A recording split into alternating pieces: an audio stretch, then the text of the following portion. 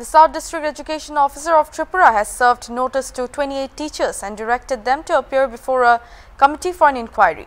This action was taken after the official received a complaint against them for engaging in private tuition, which violates government orders.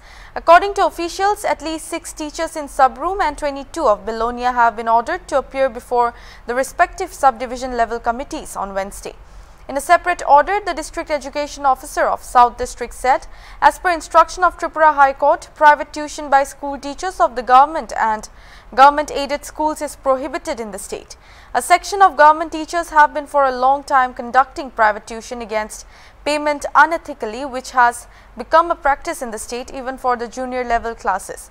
In 2015, the then Chief Justice of Tripura High Court Deepak Kumar Gupta had directed the state government on banning private tuition by government teachers but it was never really implemented.